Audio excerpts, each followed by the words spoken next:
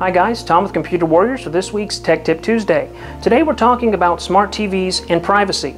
Recently, it has been discovered that your smart TV is tracking you. Now this tracking software is commonly known as Samba. Not all TVs have the same tracking software, but we do want to make you aware of what it's called so if you see it, you'll recognize it for what it is.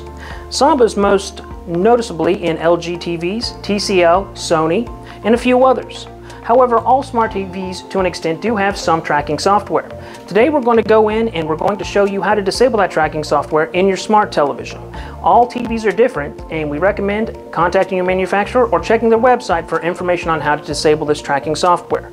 Here we have a TCL television, which is at the main screen. This is very similar to Roku's main screen, and what we're going for is we're going to look for the settings. Now again, all TVs are different, but one common theme you'll see in all TV settings are settings for networks, themes, audio, and inputs. And what we're looking for here specifically is privacy.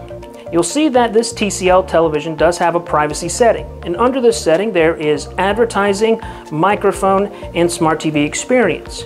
If we go over to advertising, we will see that we have already clicked limit ad tracking. You'll want to make sure that this is checked so that your TV knows to not track your activity while you're using the smart functions. Under the microphone, you will see that microphones do have, channel access does have access to the microphone, meaning the TV can listen in on what's going on in your home.